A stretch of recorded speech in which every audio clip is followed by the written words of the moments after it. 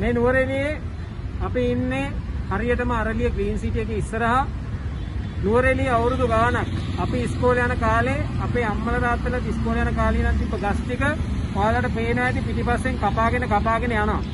ප්‍රශ්නේ තියෙන්නේ මේ ගස් එකපාර එක විදියකට එක රටාවකට එකපාරම මැරෙනවා මැරෙන ගස් ටික කැපෙනවා කැපෙන ගස් ටික තියෙන තැන පාකින් එකක් හැදෙනවා. ඉතින් මේ ගැන අපි මෙච්චර දවසක් බලාගෙන හිටියා අපි දෙතුන් වතාවක්ම මේ ගැන යෝජනා ඉදිරිපත් කරා මේවට චෝදනා කරා අදාළ බලධාරීන්ව දැනුවත් කරා නමුත් කිසිම දෙයක් වුණේ නැහැ.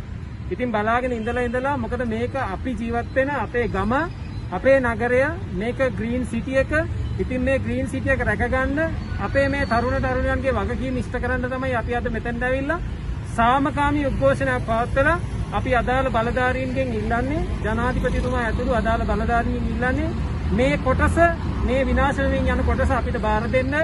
මේකේ අපි ලෑස්ති නුවරඑළියට ආවේනික ගස් හිටවලා මේ පරිසරය රැකගන්න. මොකද කාට කොහොම නැතත් අපිට අපේ නගරේ වටිනවා.